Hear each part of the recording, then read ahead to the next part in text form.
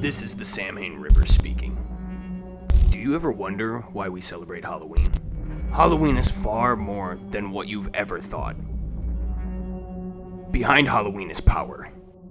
And like a vine, it grew into something. It grew into the hollow. We three are his heralds. His wrath.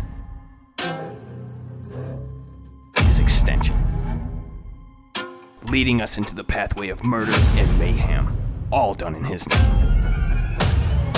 The pathway to fear is paved in blood, and it will be your blood that it is paved in.